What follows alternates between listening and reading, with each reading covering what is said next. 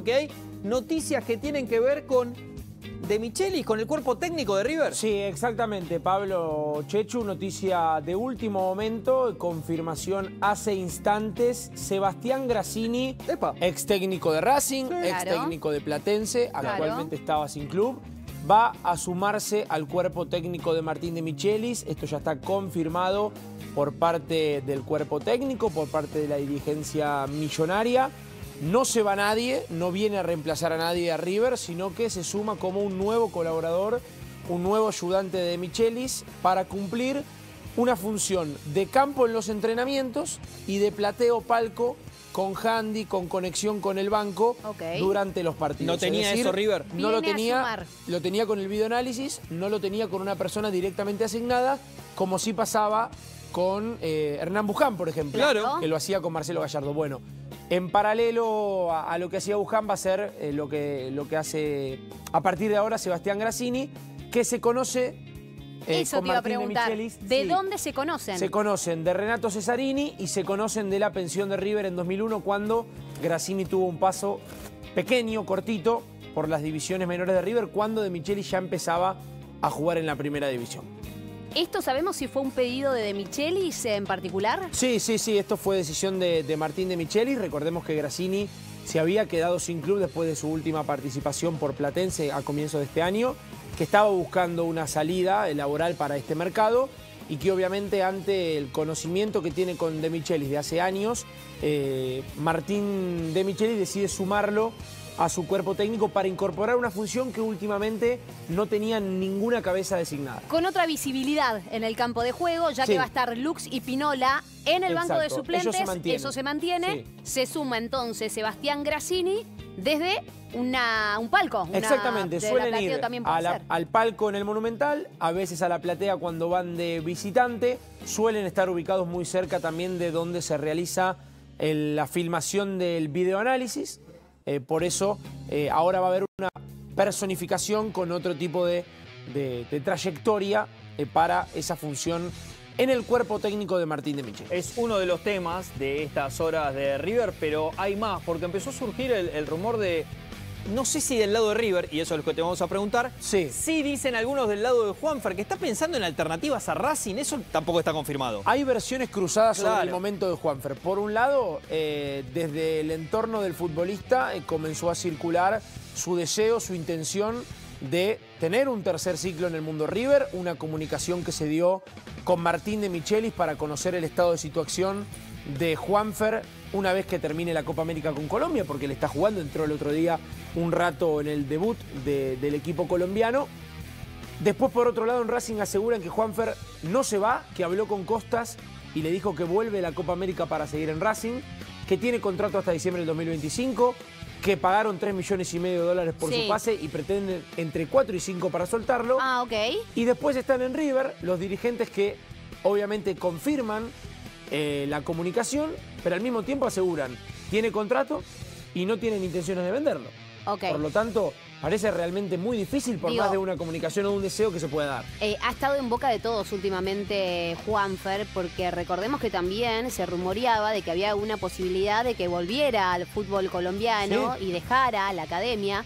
Bueno, finalmente eh, sigue en la Academia Racing Club y está bueno esto que sostenés, que la única manera de que se vaya de Racing hoy en día es si River pone el dinero que Racing pretende. Exactamente, Racing no tiene intenciones de desprenderse del futbolista, eh, obviamente nadie habla de una posible rescisión para que tenga el pase en su poder, por lo tanto la postura de la academia es muy clara, 4 o 5 millones de dólares según el tipo de negociación para que Juanfer se vaya en este mercado.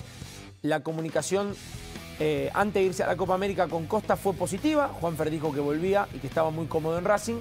Esta es la información que nos comparte habitualmente Tommy Dávila en la cobertura del día a día de la academia, por lo tanto parece más un deseo que una posibilidad concreta para este mercado, sabiendo que River tampoco tiene intenciones de desembolsar esa cifra cuando Juanfer ya Eh, por segunda vez se fue de River. Claro, era lo que te iba a decir, porque el segundo regreso, viste que dice las segundas partes no son buenas, Un no año fue muy buena para Juanfer. Solo jugó el 2022 y se terminó yendo porque River no alcanzó un acuerdo económico para su continuidad. Claro. ¿Y qué dicen de las terceras? ¿Son las vencidas? Ah. Entonces le da el aval, Chechu, para la Perfecto, por eso eh, a, mí, a mí me importa Claro. eso, el, el aval de, de Chechu. Bueno, eh, novela Vareiro, ¿basta? Hoy, día decisivo, así Hoy, lo hoy. Día partes. día hoy, D, día hoy, el día D, hoy se el día lo decisivo. voy a dar en potencial porque es una novela muy larga. Sí. Se terminaría de cerrar el pase de Dan Vareiro a River. Ya hay un acuerdo eh, nuevo después de que no se terminara de cerrar el de la semana pasada. River va a poner aproximadamente un millón de dólares más por la ficha del jugador. No entra el pase de Ferreira y se salda la deuda de Banfield que, que tiene con el equipo mexicano Necaxa con la opción de compra que tenía Paradela eh, para quedarse en el club mexicano. ¿Cuánto sería en total entonces? En total serían aproximadamente entre 2 millones y medio, 2 millones 700 mil dólares. Siempre hay que esperar a comisión directiva para conocer Sí. las cifras reales por eh, el, el pase de Adam Vareiro más la deuda de Banfield con Necaxa Dos de 2 millones. millones que se hace cargo River dándole el porcentaje que tiene de Paradela. O sea, estamos llevando un no pone 4.500. plata aproximadamente Sí. y un 15% de plusvalía de una futura venta de Vareiro para San Lorenzo. 5 millones de dólares sería el- el, aproximadamente, total. sí. Sí, River solo pone 2 millones Perfecto. y medio, 2 millones 700. Perfecto. Bueno, y para cerrar los temas de River, Franco Carboni se suma Sí. entonces al millonario, deja Italia, viene la Argentina, se va a casar la camiseta millonaria Sí. por 18 meses, un préstamo. Acuerdo a préstamo por 18 meses eh, hasta diciembre del 2025. Lógicamente, como la temporada aquí en Sudamérica es anual, River lo que hace es quedárselo por una temporada y media para que termine este año calendario y se pueda sumar a la competencia durante todo el 2025. Lateral izquierdo, 21 años, un metro y medio, viene de jugar en el Ternana de la segunda división de Italia. Su pase pertenece al Inter Milán, como lo estamos viendo en estos momentos, y había tenido también pasos por Cagliari y por Monza a préstamo. Ya está en la Argentina porque estaba aquí entrenándose con un profe durante las vacaciones y va a firmar contrato por 18 meses a préstamo con opción de compra Apa. que todavía no se conoce el monto.